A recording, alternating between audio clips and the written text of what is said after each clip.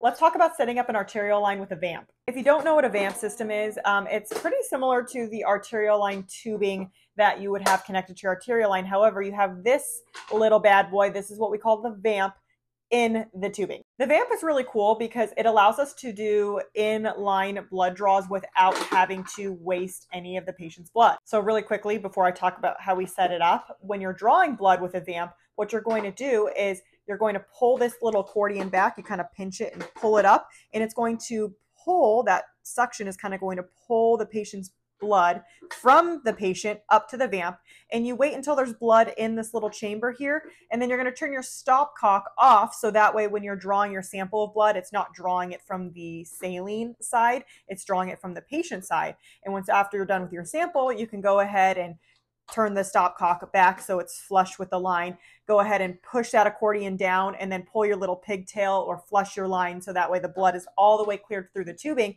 But it allows us to have like an inline waste but we're not actually wasting, if that makes sense. So when you're setting up your VAMP system, it's very similar to how you would set up your traditional arterial line tubing. Here's arterial line tubing without the VAMP, but regardless, the setup is pretty much identical. You're gonna go ahead and spike your saline bag, make sure all the air is out of that saline bag, and you're gonna prime the entire line. Now, when you're priming with a VAMP, this little VAMP comes open when it is in the packaging. And so it's going to fill this whole thing with saline, but there's also going to be a little air in it. So once you prime the whole thing, go ahead and clamp, squish this vamp system back down to kind of push that excess saline out and air that was in here. Double check that there's no air bubbles or anything like that. And then you can go ahead and pump up your pressure bag to 300 millimeters of mercury or when that little pressure gauge turns green. Once you're all primed and you got their pressure bag pumped up, you're going to go ahead and connect the end of your tubing to your arterial line. You can then take your pressure cable and put your little pressure cable plugged into there.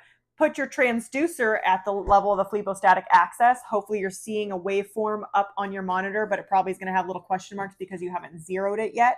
So go ahead and zero your line and you should have your arterial line all ready to go and set up. I always perform a square wave test to make sure I have an optimally damped arterial line waveform. And if that's all good, then my reading should theoretically be pretty accurate. Hopefully that answered your question. Let me know if you have any more, and I'm happy to talk more about it.